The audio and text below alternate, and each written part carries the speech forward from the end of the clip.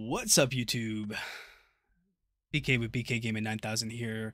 Uh, today, bringing you a live, because we're live right now. We are live right now, but uh, a video that kind of shows you a prep guide to Witch Queen and kind of what what I feel you need uh, to kind of have uh, ready, um, you know, to go for Witch Queen. So, um, you know, I have a couple different uh, things here that I want to kind of show off. Um, uh, first things first, one of the things that we need to do is make sure we have pre-seasonal checklist and then uh, vault cleaner and that type of stuff. However, I'll get into the vault cleaner and why I think, um, you know, stocking up on some weapons might be a good idea. Uh, but let's start off with the bounties and whatnot. Um, so with the bounties here, I utilize a site. It's called destinyrecipes.com um, Cap actually uh, showed me this site. Uh, it's a great site, and um, you know I absolutely love using it. And so, uh, what this allows you to do is to keep track of the bounties that you've um, picked up or completed. And how it does that is obviously you can see here the bounties that are lit up. Um, I've either picked up, and the ones that have exclamation points, I've completed them. So if you look at my hunter here, this one's lit up because I picked it up. However, I have not completed it yet. But the ones with the exclamation points, you have uh, completed it. And the grayed out ones are ones that you have not picked up and not completed as well. And if you notice, under each bounty, it has a number. So uh, let me see if I can't uh, give this a, a little quick zoom here for you guys. So as you can see here, it has like 12,000 for some of the bounties, and then some of the bounties have 6,000 here. Um, what that means is that um, what that means is that uh, the the XP that you get from turning in one of the bounties will give you 12,000 XP. Um, and then one of them will give you 6,000 XP. Why is that important? Well, at the start of the season, you know, the, the thing that you want to do is you want to get your artifact. So play the game, get the artifact. Next season it might be a little bit differently because um you know they they they showed in the video clips that we're allowed to use the artifact that we've gotten. So that's going to be a little bit interesting in how they kind of uh, deliver that and what that entails. However, when you do normally get the artifact, that's when you're allowed to kind of uh, gain XP towards unlocking certain mods for that season. Um, so, step one, get the artifact. Step two, join a friend and get to rank at least rank five of the season.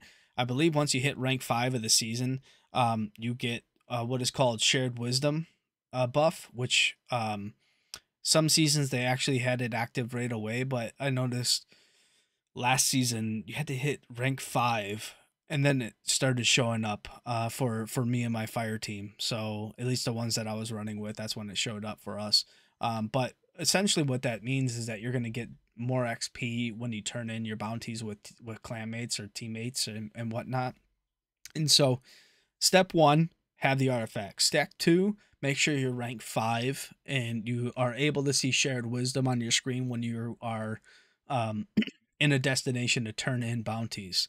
Uh, step three is um, you know turn in your bounties, get to specific levels um, and uh, unlock the XP bonuses. So uh, as you can see here, we have the Ghost Shell, which is 10%. Uh, make sure you apply that Ghost Shell. So step one, artifact. Step two, shared wisdom. Step three, make sure you have the XP boost 12% for your Ghost mod equipped. Um, the season pass has certain ranks throughout the season pass that'll give you XP bonuses. Um, generally, they, they kind of space them out. So you have one at like level 20, one at like, you know, I think 45, one at, you know, 65, one at 85, and then uh, one at like 94 or something like that for the final one. But the season pass boost should, should total up to 20%. Um, so it's a little little, but what this what this is intended to do is get you there quicker. Um, so it's more vital to kind of turn these in once you have the artifact than it is to turn it in for the season pass because you'll get the the XP boost eventually with the season pass. However, um, you know, unlocking it faster is the key so that, you know, for the rest of the season you have the flat XP boost to level your artifact. But uh, the reason why you want to have your artifact is because obviously you unlock the mods with the artifact and you start earning XP for your artifact uh, right off the bat when you turn in these bounties. So right now, of the bounties that I have, I have stored uh, almost 2 million XP already. Um, so I'm at, you know, once I complete this one, I'll have 1938, 7, 700. Um, so what, what can you do once you, um, you know, complete your bounties? Uh, that's when you start stocking up on materials. So what I would recommend is making sure that you have all the 12K bounties completed. Uh, we have Iron Banner next week, so you'll have a chance to get at least for the Iron Banner bounties if you have not.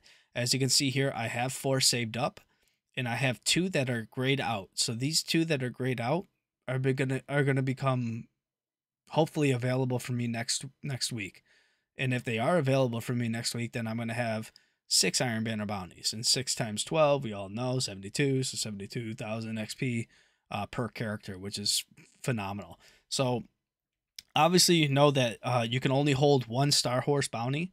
So what I would recommend is not doing what I did for my Warlock and picking the one that requires 180,000 points uh, completion. Just grab one of the ones that that also offers a 12k XP boost, and uh, it might be like the one that offers like 140,000 for a run. But make sure that you have as many 12k bounties as possible. And then after you have a sufficient amount of 12k bounties um, for the week, you have like two weeks to kind of prep for this. So like sometimes Hawthorne does refresh her bounties, so she had might have like two bounties that she might not have normally, because um, I'm completing the two that I haven't done. Um, so those are all 12k. So once you have those completed, that's when you start filling in with the 6ks, because uh, then um, and those are the dailies. Don't get the repeatables. The repeatables are nothing more than 2k and so they're they're kind of useless in my book. So uh, the repeatables will or the dailies will come around so that you can fill up your your bounty list. And a tip to kind of help you get more space for bounties is by clearing out your quests, your quest, and getting rid of the things that are kind of in the middle screen of your character. By doing that, you free up uh, more bounty space uh, to hold different bounties. So that's bounties. I hope that kind of answered it. Um, the next thing you gotta want to look into is your materials. So over here um, is a kind of a score guide to how prepped you are based on how many materials you have down below. Um, so here's all my materials that I have. Uh, they recommend you have 2,000 of each. So Spider is going away next season. So Tangled Shore, boom, gone. Um, what's great about him though is he refreshes daily. So on the daily, he might be able to sell one of these materials for a legendary shard. And if you're like me and have been playing for a while, or maybe you've been playing since Beyond Light, or you know you've you've saved up some legendary shards. Um, you know, one legendary shard for five materials is not a bad deal. And sometimes he even offers um, you know, legendary shards uh, for um, a material that you would then need to use to buy a certain other material. So that's even okay to kind of like trade up to where like you're trading legendary shards to buy a bunch of this material to turn that material in to get more of this material. And it works out because once you hit that uh, specific number with the material you're using um, to get more of the the material that costs it, um, you'll then just start refilling your material that you use to buy that uh, with the legendary shards that you have available. Um, as you can see, I'm pretty good at 27,510. So I'm pretty good on legendary shards. Uh, but I also have all the different other materials um, as well. So upgrade modules, you can only hold 25. I have 24 right now. Um, I could just buy buy one at Banshee and be good right before the server shut down. Um, this is kind of an interesting one. Pair, uh, Paraversal Haul, which is the uh, box that Xur sells in his um, little loot cave. And um, what they're speculating here is that this is actually going to help you get to soft cap a lot quicker um, because of the fact that it should give you um, decent gear. So people are saying buy these for the strange coins, and you can only hold 20 of them. So buy them for the strange coins, and then um, you'll have 20 to open uh, at the start of the new season. So I'll be kind of uh, monitoring that day. You know, I'll open one or two, see what level it drops at for me.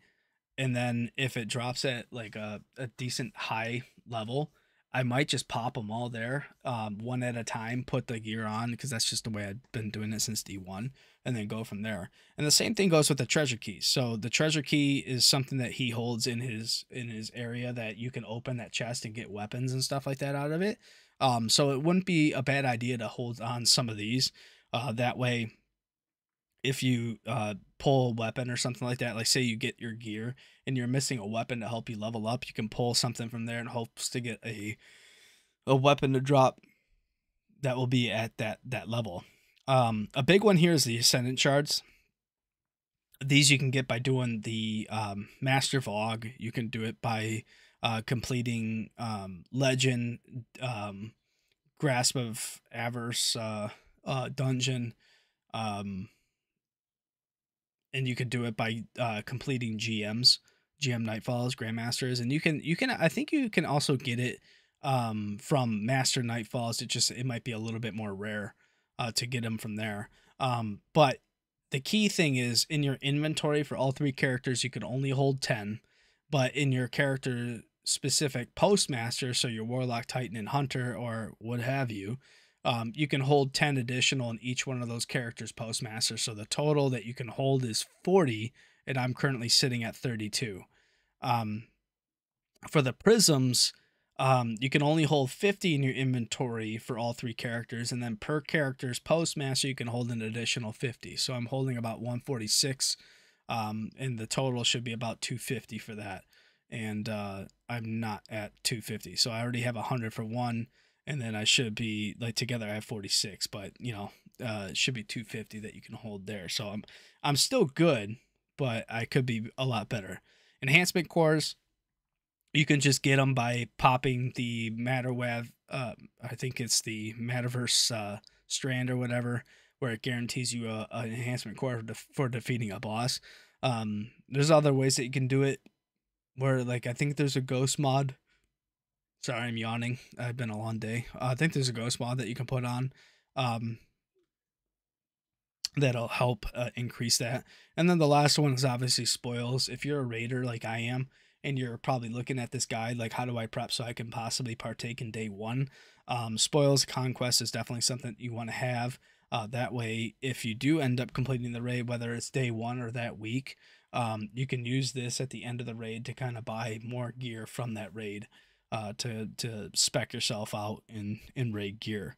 Um, going on to the weapons here, um, they're making some changes to the masterwork weapons system, and so there's going to be a mod that that's going to be placed on your helmet. I believe that helps duplicate orbs.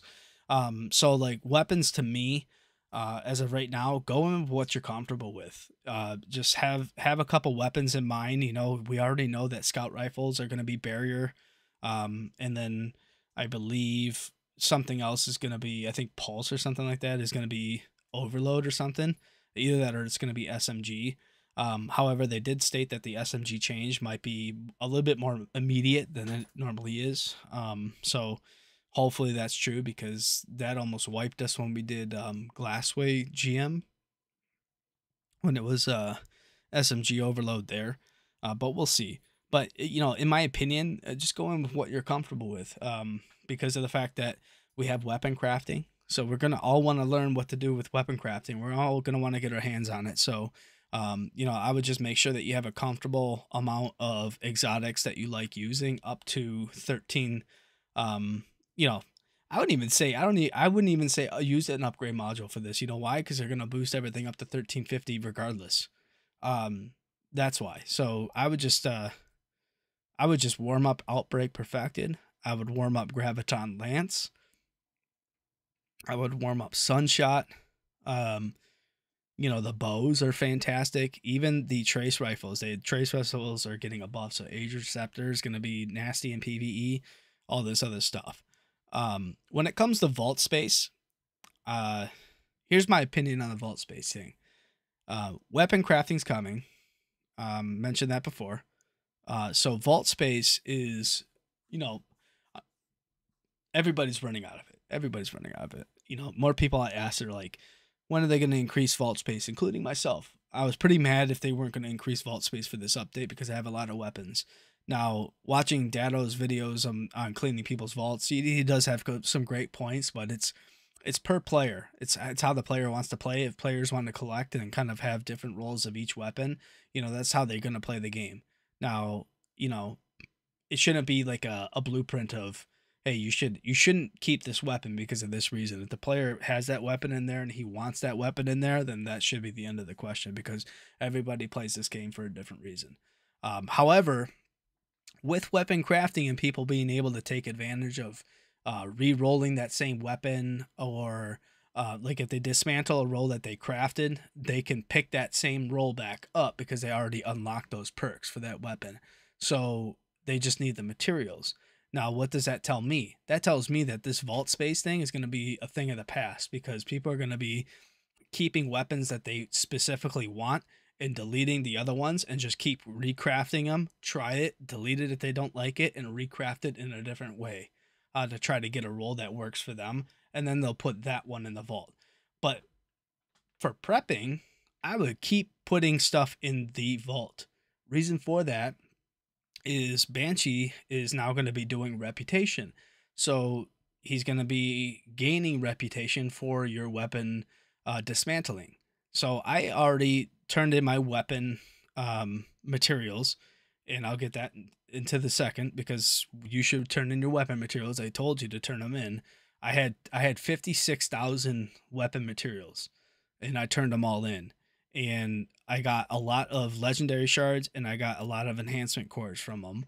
Uh, but I did keep about 40 to 50 weapons and put them in my vault.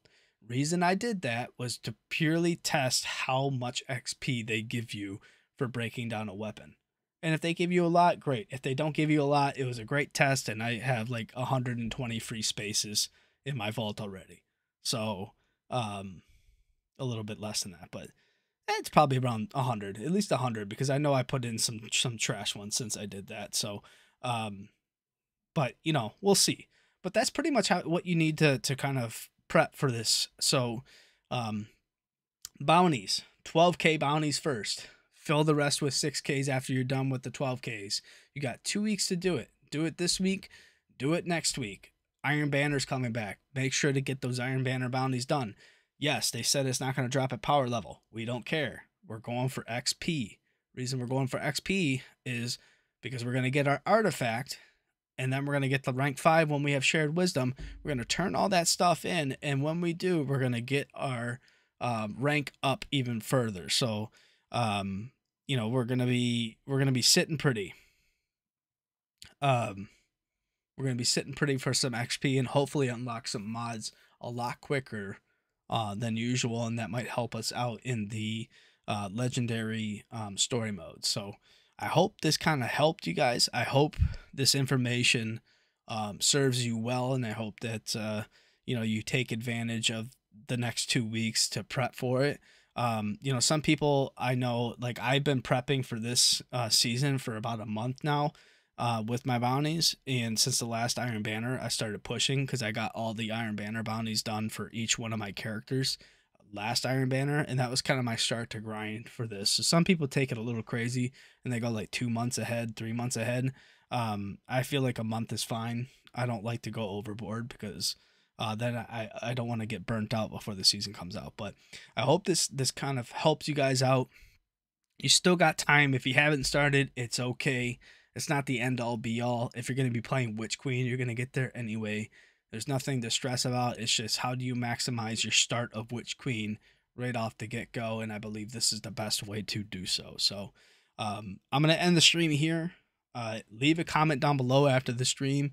Um, you know, if you take advantage of this, uh, if you have any more tips, you know, leave a comment down for people uh, who watch this video later. I'm going to try to download this video and edit this video and then put this up as a separate video for prep guide. Uh, so make sure to leave a comment down below on what you're doing to prep for Witch Queen, how you're excited for it, what you're excited about it. And I can't wait to read your guys' comments. So I will check you in the next one. Peace out.